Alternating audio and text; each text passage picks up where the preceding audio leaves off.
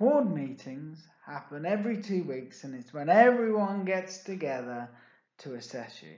And I mean everyone.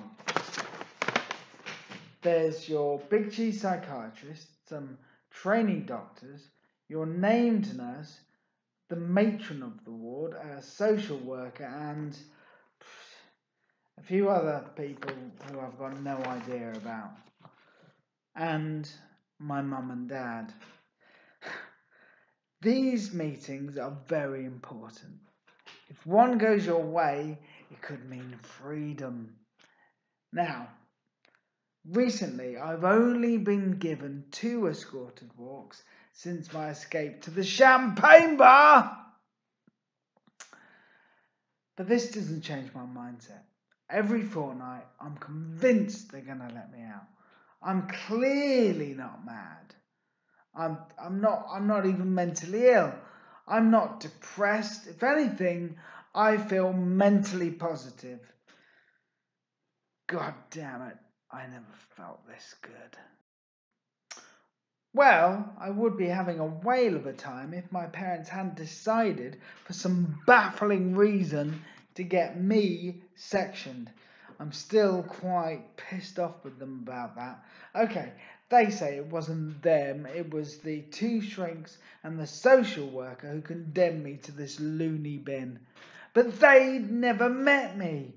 They hadn't read The Nose That Nobody Picked. How could they know that it was a agnostic parable that was gonna change the world. They'd probably never met a genius before.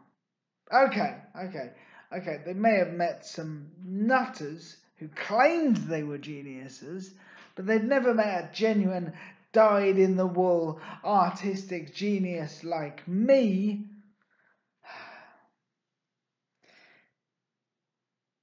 Some people might find this ward meeting, this room full of strangers, a little bit intimidating. But oh no, not me. This is a room all interested in David Parkin. This is an audience. I have treated them to poetry about why I clearly should be discharged I've even tried to play them a song or two, but I wasn't allowed to take the guitar in the ward meeting. I mean, can you believe that? I mean, if this was a paid gig, people would be paying good money for those seats. I find medical people frustratingly bland in their appreciation of the arts.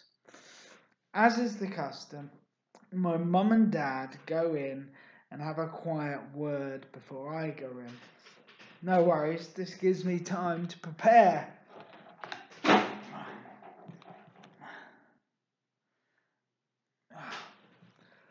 Hang on, yeah. Oh, yeah. Hang on. Oh, it's going up my nose. There we go.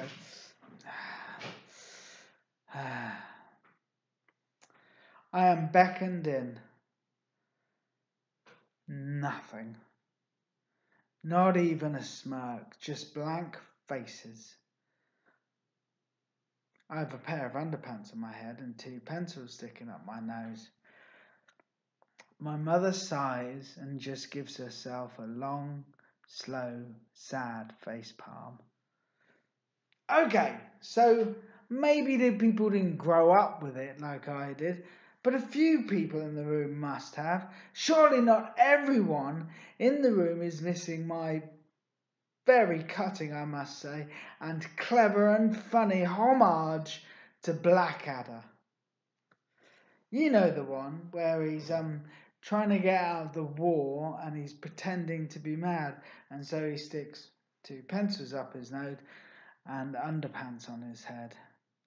I am being very clever and hilarious. You might say that if you're going to a meeting to decide whether you are sane enough to be let out into the outside world, the last thing you want to do is put a pair of underpants on your head. and stick two pencils up your nose. But those pe- people aren't as smart or as funny as I am. Who's doing Blackadder? says my dad weakly to the quizzical looks. I sit down, rather grandly cross my legs, and survey the room. Deadpan.